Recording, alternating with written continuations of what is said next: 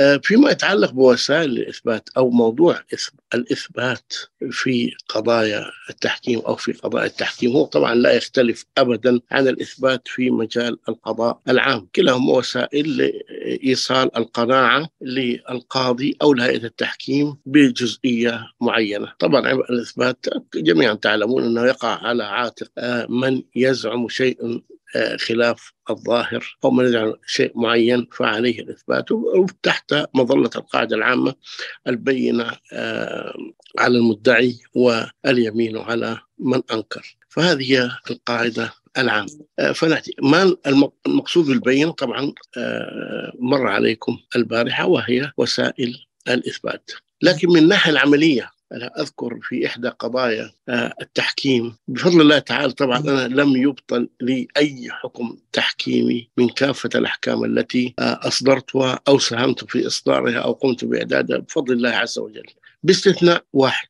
لو سألتموني ما هذا الحكم الحقيقة شكلت آه، هيئة تحكيم للفصل في نزاع بين شخصين كان يحيي له أرضا. طبعا بالنسبة للمملكة القومية السعودية يسمح بتملك الأراضي بعد إحيائها. فكان هذا الشخص اللي هو المحتكم يرغب في إثبات حقه في مواجهة المحتكم ضده. أنه قام بحماية الأرض يعني وضع حدود ترابية لهذه الأرض لحمايتها وحفر بئر. ويعني يجيبوا بعض المزروعات ويضعوها كأنها زرعت من السابق إلى اخره كل هذه أو إقامة بناء كل هذه من مظاهر الإحياء ما يسمى بالإحياء الشرعي الذي يأخذ به القاضي وهو يعني في في في سبيله لإصدار الحكم بتملك من أحيا هذه الأرض. بعيدا طبعا بغض النظر عن إنه الواحد يعني, يعني كل ذلك الا استناد استناد الحديث الشريف من أحيا ارضا مواتا فهي له. بغض النظر عن الأرض المحياة قد تكون مليون مليون متر مربع 2 مليون متر مربع. 500 ألف متر مربع. يعني ليست لأغراض السكنة أو الستر ويقوم بها بعض الناس. المهم كانت وسيلة معترف بها تماما للتملك. شاهدنا في هذا أن هذا المدعي أو المحتكم طالب بأتعابه آه، وهي نسبة من الأرض من المحتكم ضده نظير إحيائه لهذه الأرض وحمايتها وتسويرها وزراعتها وغراسها إلى آخره. فكانت النتيجة شكلت هيئة التحكيم التي تشرفت برئاستها وكان معي قاضي كان معي قاضيان آه، متقاعدين. بدأنا وبدأنا الثلاثة قادة واستلزم الأمر من وسائل الإثبات التي احتج بها المحتكم وجود شهود كانوا يرتادون الموقع أو يمرون على الموقع أو هم مجاورين لهذا الموقع. طلبنا منهم من المحتكم آه، هو هو من استشهد بهم إحضارهم إلى آه، مقر انعقاد هيئة التحكيم فكانت النتيجة إنه أتى واحد تلو الآخر وآحد تلو الآخر وأدلى ما لديه من شهادة. كنا في كل جلسة نكتفي بأربع أو خمس شهود حتى بلغت الشهود نحو عشرين شاهدا. كنا نضبط الشهادة ونأخذ البيانات الشخصية لكل شاهد ثم نأخذ منطوق الشهادة ونحرره في محضر الجلسة. بعد أن انتهت القضية وطبعا ليس هناك إجماع في القضية لم هناك إجماع بالأغلبية آه، سبق في العام الماضي آه، يعني ذكرت لكم لماذا تصدر عندنا يعني معظم الأحكام أقدر أقول 98% من أحكام التحكيم تصدر بالأغلبية وليس بالإجماع. فصدر الحكم بالأغلبية. تم الطعن فيه أمام محكمة الاستئناف المختصة فأبطلته. حقيقة أنا انزعجت بذلنا جهدا والأطراف النزاع بذلوا مبالغ آه، يعني آه، مالية عالية جدا في هذا النزاع. فعندما طلعنا على آه، أسباب حكم محكمة الاستئناف بإبطال الحكم التحكيمي فوجئت بما لم يكن متوقعا ابدا. قالت إن الحكم التحكيمي لم يتضمن أقوال الشهود وإنما تم بناء على هذه الأقوال ولم يتم إدراج هذه الأقوال في الحكم في صلب الحكم. عندما يعني طبعا هناك يعقد جلسات ويسمع فيها من الطرفين محكمة الإسلام المختصة. فعندما عاد إلينا المحتكم كان يخشى أن إبطال الحكم. فذكرنا له آه، منطوق شهادة الشهود مثبت كله وكله يؤدي إلى ذات النتيجة التي رسخت قناعة هيئة التحكيم بهذا الأمر أن الرجل فعلا قام بإحياء الأرض والمحافظة عليها والقيام بما شأنه أن يثبت قيام بإحيائها وأن هذا مدون في محاضر الجلسات ولكن مش معقول نأخذ حوالي 60 أو 70 صفحة من محاضر الجلسات اللي هي عبارة عن منطوق الشهادات ونضعها في الحكم التحكيمي إلا أن أصرت المحكمة. بعد ذلك رغبت في يعني الحوار انتهزت إحدى الفرص الاجتماع والتقيت برئيس الدائرة التي قامت بإلغاء الحكم التحكيمي. فقال لي ينبغي على هيئة التحكيم كان ينبغي عليها أنها تضع منطوق شهادات قلت له هذه الشهادات عشرات الصفحات 60 70 صفحة وما الداعي إلى نقلها. إنما يكتفى بنحن نصل إلى النتيجة ونثبت النتيجة في سياق الحكم أن الدائرة استمعت إلى الشهود فلان وفلان وفلان وفلان وفلان وفلان وكانت نتيجته موصلة إلى كذا كذا كذا كذا. يكتفى بهذا. قال لي لا لازم تكتبوا هذه المنطوق الشهادة في الحكم التحكيمي. فقلت طيب حتى لا يتكرر هذا الخطأ من جانبنا في أي قضية أخرى تالية رجاء تعطيني السند الذي أعول عليه بعد الآن لكي لنقل منطوق الشهادة إلى إلى الحكم التحكيمي فقال لا لكن هذا ما جرى عليه العمل لدى القضاء قلت له طيب القضاء العام هذا هذا ما يقصده قلت له طيب إذا كان كيف جرى عليه العمل؟ السند إلى ماذا؟ قال لي ببساطة هي كده، قلت له كيف هي كده؟ قال لي مفروض إنه المنطوق ينقل إلى الحكم، قلت له استنادا إلى ماذا؟ هل لا يوجد نص في نظام المرافعات؟ ابدا ولا في أي نص إجرائي ولا أي نظام أو لائحة نحن نعول عليها آه، لنقل منطوق الشهادات إلى الحكم التحكيمي. قال لي لا هذا اللي جرى عليه طيب السند إلى ماذا؟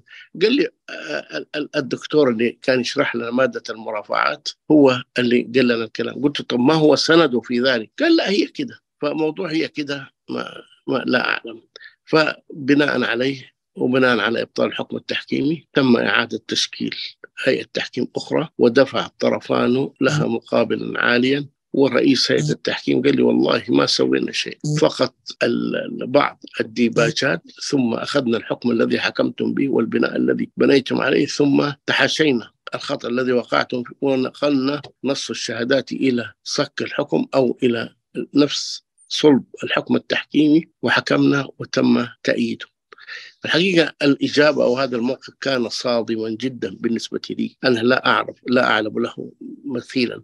فهيئة التحكيم شأن شأن أي دائرة قضائية أن يتولد لديها القناعة بمسألة معينة تثبت هذا. ومن أراد الرجوع إلى منطوق الشهادة أو التعقيب على أسلوب وصيغتهما إذا كانت موصلة أو غير موصلة فاستطاعته العودة إلى آه، محاضر الجلسات التي هي بحوزة الطرفين. فهذه يعني أول قضية كانت يعني آه، بالنسبة لي أنا يتم إبطالها استنادا إلى يعني عدم زوال الدليل الإثبات الموصل إلى النتيجة التي انتهينا إليها لم يعتد به أبدا. ولعل تلك كانت رواسب آه، الحقيقة بعد كده لم أتعرض إلى إلى هذا. أخذنا شهادة الشهود وأثبتناها لكن كانت شهادة شاهدين وخلاص. ما ما أخذنا آه، عدد كبير من الشهود في القضايا اللاحقة ويعني كان دائما يعني ينقل نص الشهادة إلى منطوق الحكم حتى نتلافى ذلك دون أي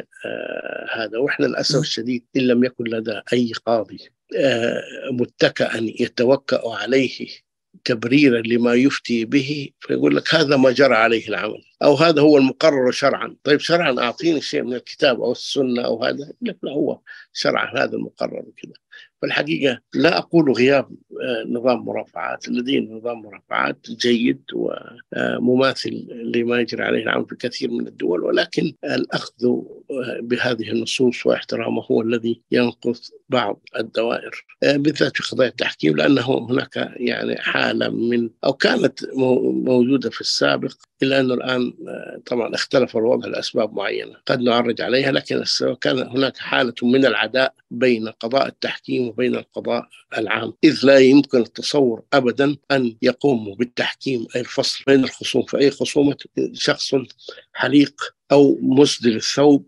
أو واضع عقالا فوق رأسه هذا لا يمكن تصوره أبدا إطلاقا. فبناء على هذا هذه الصورة الذهنية يعني نشأت حالة من العداء الخفي بين القضاء العام وقضاء التحكيم. أدت إلى إلغاء كثير منها، لكن طبعا النظام الجديد والمتغيرات الحديثة أدت في المملكة أدت إلى تغيير هذا الوضع.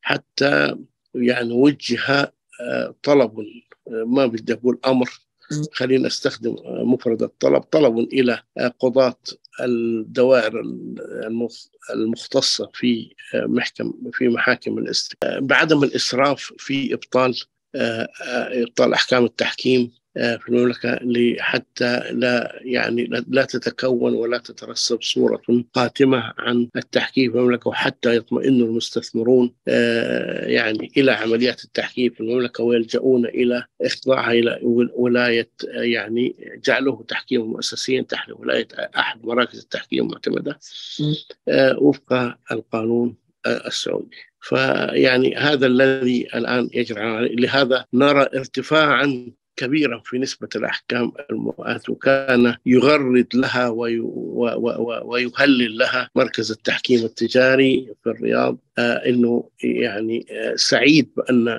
98% 98 و2 من عشرة أظن من أحكام التحكيم التي يتم تأييدها. والواقع الحقيقة الواقع أنك لو لو اطلعنا على كثير من أحكام التحكيم لا يمكن أن يطالها أي حظ من التأييد أبدا بل بالعكس تستغرب إنه بعض أحكام التحكيم لم يحكم بالسجن على مصدروها إذا ما إذا يعني بقدر من المبالغة في القول لأنها لا علاقة لها بالتحكيم نهائيا.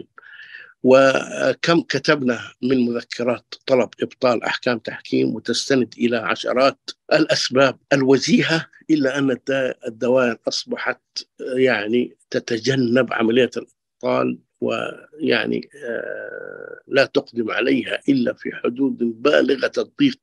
يعني وهذا السبب في ارتفاع نسبة الأحكام المؤيدة من احكام التحكيم المؤيدة من لدن محاكم الاستئناف المختصة في المملكة.